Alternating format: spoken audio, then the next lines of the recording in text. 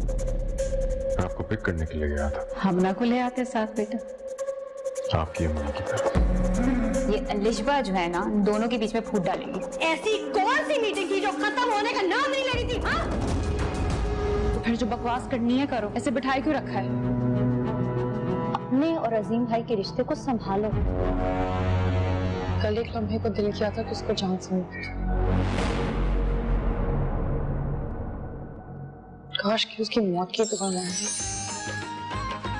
इश्किया देखिए हर पीर रात नौ बजकर तीस मिनट, सिर्फ़ ए आर वाई डिजिटल पर।